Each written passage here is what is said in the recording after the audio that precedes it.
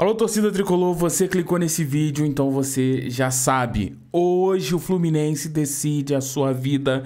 Hoje vamos jogar a última partida da semifinal da Libertadores. O confronto totalmente empatado. E hoje será definido aquele que vai pegar a primeira vaga para essa final, a final que acontece no Maracanã. Então, assim, a expectativa nossa está no alto. Não tem jeito, é o jogo do ano, é o grande confronto. E, meus amigos, vamos trazer tudo para você aqui nesse vídeo. Então fica com a gente, já vem no clima, porque o Fluminense vai jogar rumo à final da Libertadores 2023. Rapaz, eu tô ansioso demais. Vem comigo.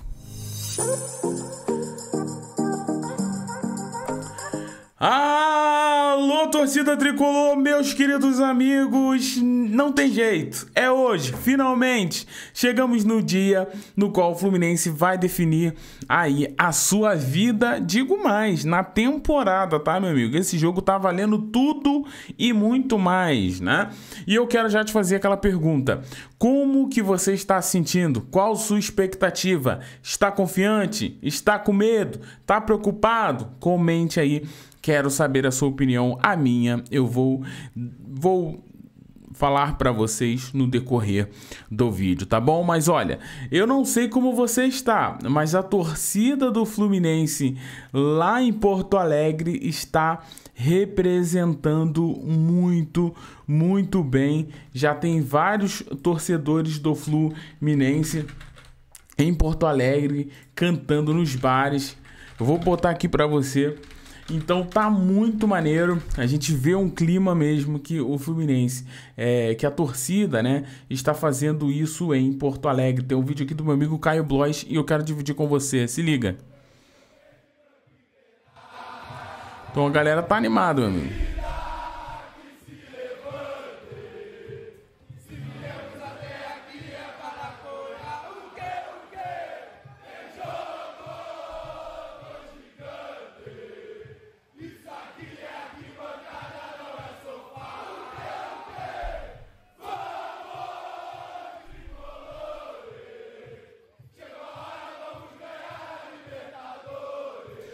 É isso, né, galera? É, é, a grande música que nós estamos cantando porque chegou a hora do Fluminense realmente ganhar essa Libertadores e hoje nós vamos definir, tá? Essa, esse, essa vaga, né? E vamos lá. Existem dúvidas do Fernando Diniz para o jogo de hoje, né? Existem algumas definições. O que eu quero te dizer é o seguinte: o Diniz já tem o time definido, tá? Eu não vou trazer para você o definitivo do time, né? Vou trazer aqui as possibilidades. Então a gente vai conversar sobre o que pode acontecer, mas sim nós poderemos ter é, mudanças, surpresas, melhoras para o Fluminense. Então eu quero que você acompanhe esse vídeo até o final, beleza? Falando ainda da, da torcida do Fluminense, é, Fluminense esgotou todos os seus ingressos no Beira Rio, meu amigo. E como a gente já mostrou, mostro outro vídeo aqui do Fluminense fazendo uma festa, meu amigo. Olha só. Isso é em Porto Alegre, tá, meus amigos? Olha o clima, pessoal. Já vai entrando no clima para esse jogo.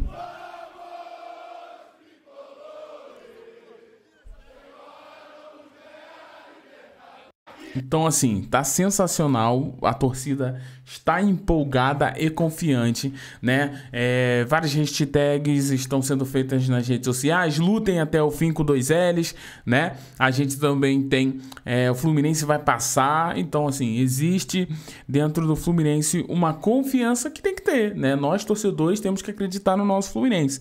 E eu digo, as coisas quando se complicam, quando, se, quando é Fluminense é melhor para nós, tá bom? Então vamos lá. Antes da gente entrar no, nas informações desse jogo em si, só um recado, já estamos com quase 64 mil inscritos aqui na Hora do Flu. E se você ainda não se inscreveu, se inscreva agora, tá? Agora, logo abaixo, já se inscreve, ative o sininho tricolor também para todas as notificações. E assim você fica por dentro de tudo que acontece aqui na Hora do Flu. Faça como os mil mil guerreiros tricolores que sempre deixam um like para ajudar e fortalecer aqui o canal. Conto com seu like também, aproveita e já deixa aí. Tudo isso é de graça logo abaixo do vídeo. Você consegue, você tem todas as opções: inscrição, inscrever e também de compartilhar o vídeo. E eu aconselho a você a compartilhar esse vídeo aí, meu amigo. Vamos embora para cima deles e é nós, né? Agora, é, falando um pouquinho sobre o jogo, o Marcelo fez uma postagem na sua rede social colocando o seguinte: preparados para amanhã. Ele fez essa postagem ontem. Preparados para amanhã, todos juntos por um sonho. Vamos, Fluminense. Então, assim, a gente sabe do sonho, a gente sabe se nós estamos é, empolgados, nervosos. Eu acredito que tá todo mundo assim, todo mundo sabe da importância desse jogo, tá bom? Então, assim, vamos lá.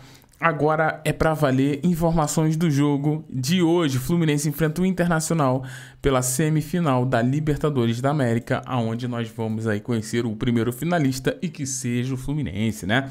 A gente tem aqui né, a arbitragem tudo direitinho, como você pode ver, Fluminense enfrenta o Internacional no Beira Rio, né?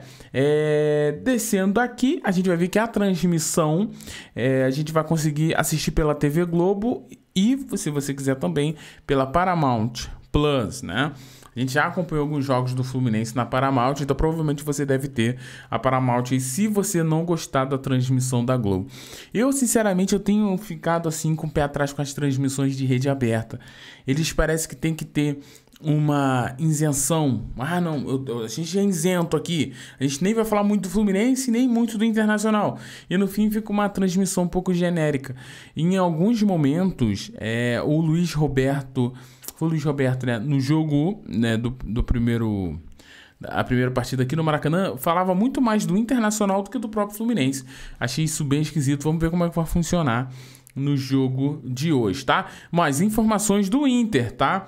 Para, é, para voltar à final, o Colorado aposta no oportunismo de Valência no comando de ataque equatoriano com quatro gols em cinco partidas, Alan Patrick, que marcou o segundo time gaúcho no Maracanã, fará dupla com camisa 13. Então, assim, aquilo que eu tava falando para você, que muita gente falando, ah, mas o goleiro Rochede tá fora, barará, barará. Eu falei, galera, isso eu não caio.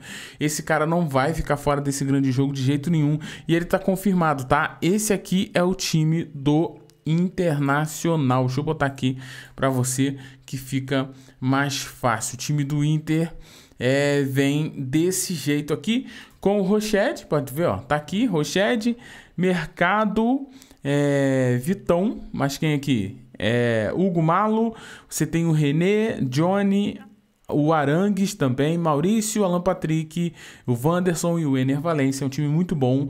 Eu nunca escondi isso de você. Tem muita qualidade esse time do Internacional. Por isso que a gente tem que tomar muito cuidado. Mas se o Internacional tem muita qualidade, gente, o Fluminense também tem qualidade demais, tá? A gente vai trazer uma escalação aqui, mas eu também vou trazer uma variação, algo que pode acontecer no jogo de hoje. E eu, sinceramente, eu tô achando que isso vai rolar mesmo, tá? Mas vamos lá.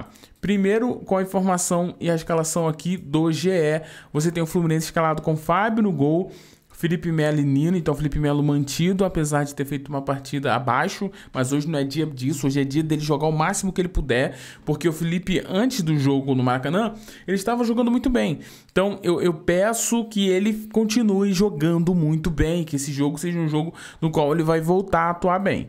Guga, aqui no lugar do, do Samuel Xavier, que foi expulso no jogo passado, Marcelo na lateral esquerda, André Ganso, Keno, John, A, eh, John Kennedy, Cano e Ares. Esse foi o time que o Diniz escolheu para o jogo no Maracanã.